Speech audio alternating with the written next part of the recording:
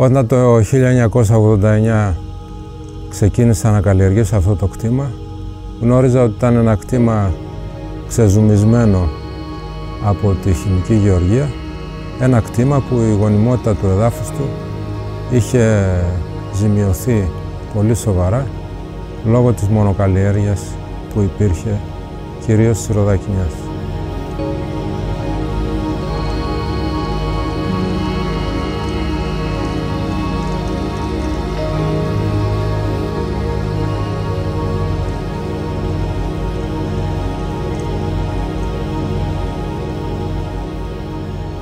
Άρα λοιπόν το πρωταρχικό μου μέλημα, η έγνοια μου και η φροντίδα μου ήταν το πώς να κτίσω γόνιμη γη. Γιατί γνώριζα ότι όταν η γη είναι γόνιμη, τότε τα φυτά είναι υγιή, τα ζώα που τρέφονται από αυτά τα φυτά είναι υγιή και ο άνθρωπος κατ' επέκταση που τρέφεται από τα φυτά και τα ζώα θα είναι υγιής. Άρα λοιπόν ξεκίνησα με μια εντελώς διαφορετική προσέγγιση από τους συμβατικούς καλλιεργητές οι οποίοι σαν πρωταρχικό είχαν μέλημα να βάλουν καλλιέργειες που δίνανε μεγάλο εισόδημα.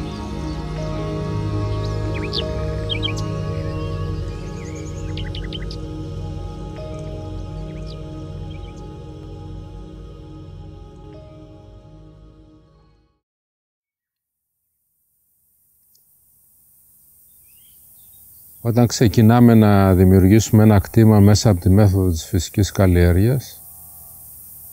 αυτό στο οποίο εστιάζουμε από την αρχή και που αποτελεί το όραμα του φυσικού καλλιεργητή, είναι να δημιουργήσουμε μια γόνιμη γη. Η γόνιμη γη είναι το κλειδί τόσο για την υγεία των φυτών, όσο και για την υγεία των ζώων και του ανθρώπου που ζει από αυτά. Το να κτίσουμε γόνιμη οργανική υγεία είναι το κλειδί για το οποίο, από το οποίο εξαρτάται η υγεία όλων αυτών των πλασμάτων γιατί ένα γόνιμο οργανικό έδαφος έχει όλα τα ένζημα, τα αμινοξέα, τις πρωτεΐνες, τα ιχνοστοιχεία, τις βιταμίνες που χρειάζονται αυτοί οι οργανισμοί και όχι μόνο. Ένα γόνιμο οργανικό έδαφος έχει μέγιστο αριθμό μικροοργανισμών, είτε αυτά είναι βακτήρια, είτε είναι μύκητες, είτε άλλοι μικροοργανισμοί. Είναι πλούσιο σε γεωσκόλικες οι οποίοι επεξεργάζονται το έδαφος και το κάνουν οργανικό. Είναι ένα έδαφος το οποίο βοηθάει να απαλλαγούμε γρηγορότερα από βαριά μέταλλα ή τοξικές ουσίες και επομένως ε, είναι πάρα πολύ σημαντικό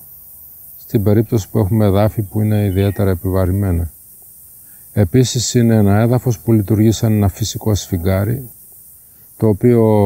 ρουφάει τα νερά της βροχής, αξιοποιεί τα, τις χιονοπτώσεις και βέβαια προστατεύει σε σημαντικό βαθμό μιας και ρουφάει την περίσσια της υγρασίας το έδαφος από τη διάβρωση. Για να μπορέσουμε να δημιουργήσουμε ένα γόνιμο οργανικό έδαφος, πλούσιο δηλαδή σε οργανική ύλη, το κλειδί είναι η μεγάλη βιοποικιλότητα φυτών. Στοχεύουμε βασικά στο να δημιουργήσουμε ε, μια αγώνιμη γη, να προστατέψουμε το έδαφος από τη διάβρωση και να δημιουργήσουμε αρμονία για να λύσουμε το πρόβλημα των ασθενειών και των προσβολών από έντομο. Και τα τρία αυτά πραγματοποιούνται, υλοποιούνται μέσα από τη μεγάλη βιοποικιλότητα όσο πιο μεγάλη ποικιλία φυτών και ζώων ζουν σε ένα χώρο, τόσο πιο γόνιμη γίνεται η γη. Όσο πιο μεγάλη ποικιλία φυτών και ζώων ζουν σε ένα χώρο, τόσο πιο πολύ ελέγχεται το έδαφος από τη διάβρωση. Και όσο πιο μεγάλη ποικιλία φυτών και ζώων ζουν σε ένα χώρο, τόσο μεγαλύτερη αρμονία ή ισορροπία υπάρχει στο χώρο αυτό. Ακόμη και η επιστήμη της οικολογίας αναγκάζεται να παραδεχτεί ότι όσο πιο μεγάλη είναι η βιοπικιλότητα, τόσο πιο σταθερό είναι ένα οικοσύστημα. Επομένως, ε, από την αρχή,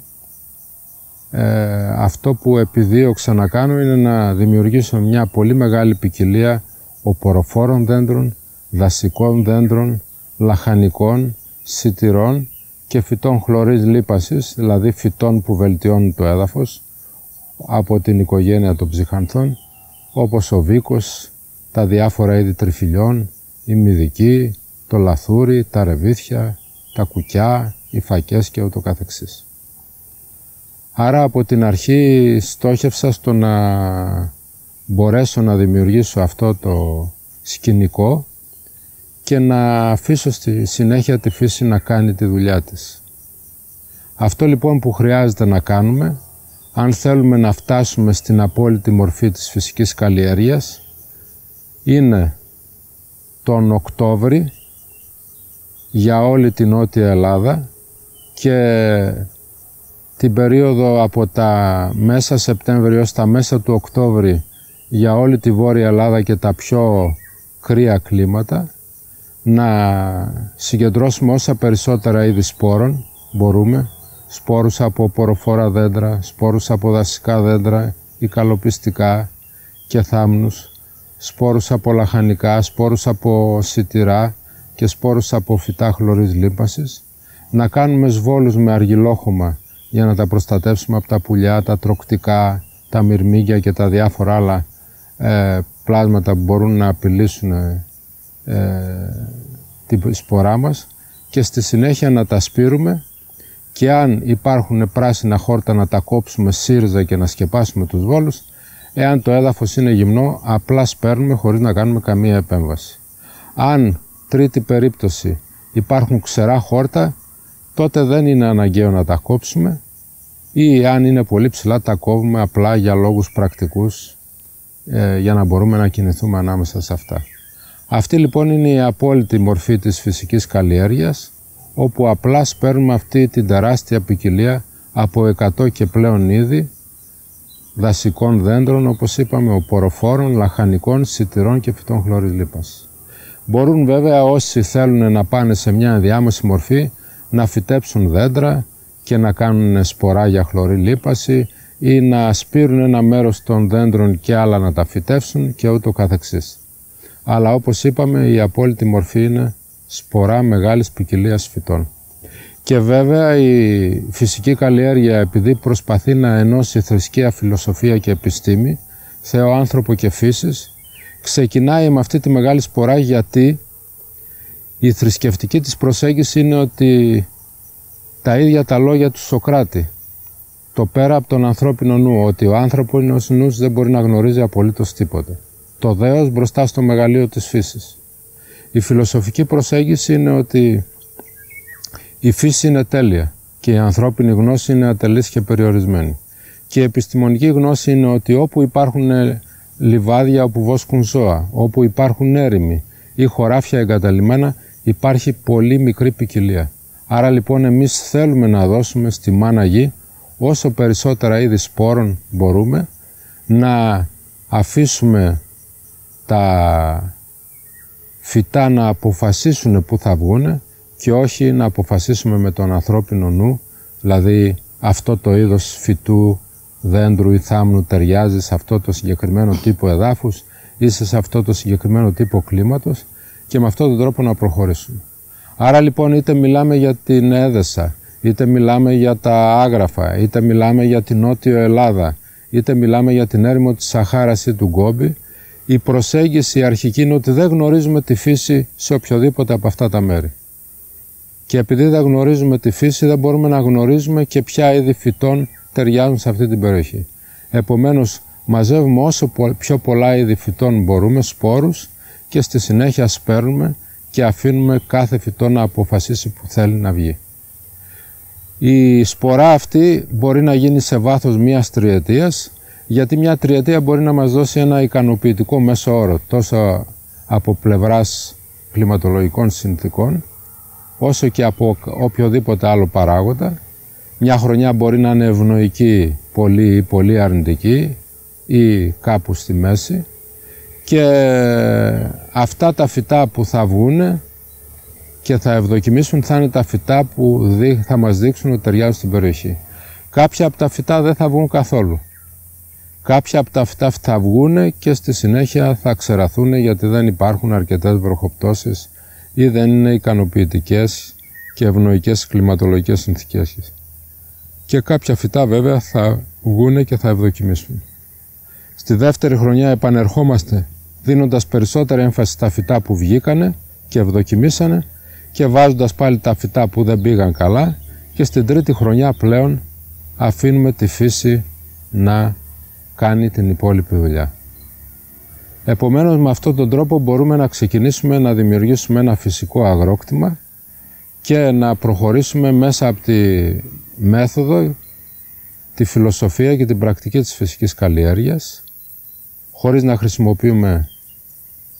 μηχανήματα γεωρικά, χωρίς να χρησιμοποιούμε λιπάσματα, χωρίς να χρησιμοποιούμε φυτοφάρμακα, χωρίς να χρησιμοποιούμε κατεργασία της γης ή να, χρησιμοποιούμε δηλαδή άρωτρα ε, γεωργικά μηχανήματα, φρέζες, ε, νύχη, ρίπερ και οτιδήποτε άλλο γεωργικό μηχάνημα χρησιμοποιεί ο αγρότης και επίσης χωρίς να κάνουμε ζυζανιοκτονία ή βοτάνημα και αν αναφερόμαστε σε καλλιέργεια οποροφόρων δέντρων χωρίς να κλαδεύουμε τα δέντρα, δηλαδή να τους δίνουμε απλά το φυσικό σχήμα και στη συνέχεια να τα αφήνουμε μόνα τους. Σε αυτό το κτήμα λοιπόν που δημιουργήθηκε σε ένα χώρο που καλλιεργιόταν επί 30 και συναπτά έτη με χημική γεωργία υπάρχει μια τεράστια ποικιλία οποροφόρων δέντρων. Πάνω από 120 ποικιλίες οποροφόρων δέντρων, κάθε είδος δέντρου είτε είναι ροδακινιές, είτε είναι βερικοκές, είτε είναι κερασιές, είτε είναι αμυγδαλιές ή δαμασκηνιές και ούτω καθεξής, έχει δυο και τρεις και τέσσερις και πέντε ή ακόμη και δέκα ποικιλίες διαφορετικές. Υπάρχουν δασικά δέντρα όπως τα σφενδάμια, τα καραγάτσια, οι πλατάνια, οι κατάλπες, οι παολόβινες και ούτω καθεξής. Υπάρχουν ε, θάμνοι βελτιωτικού του εδάφους και άλλοι όπως η κολουτέα, ο ελέαγνος ο Μπελάτα, ο ελέαγνος ο εμπίγκε και άλλοι και κάτω από τα οποροφόρα δέντρα υπάρχει μια μεγάλη ποικιλία ε, φυτών που μπορεί να είναι λαχανικά, μπορεί να είναι σιτηρά, μπορεί να είναι ε, φυτά χλωρή λίπανσης όπως ο βίκος, τα τριφύλια, οι μυδικές, τα κτηνοτροφικά μπιζέλια, τα κτηνοτροφικά κουκιά και ούτω καθεξής. Με αυτόν τον τρόπο λοιπόν πετυχαίνουμε με μια να στήσουμε ένα σκηνικό ιδανικό για να έχουν τα φυτά μας υψηλή παραγωγικότητα, να έχουν ελάχιστες προσβολές από ασθένειες και έντομα και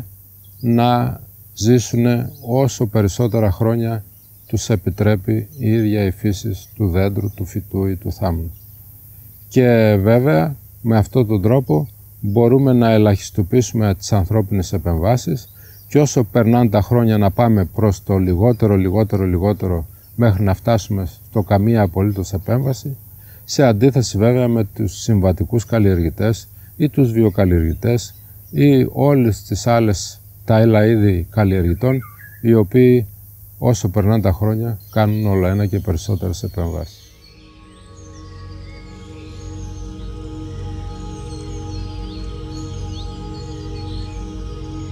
thank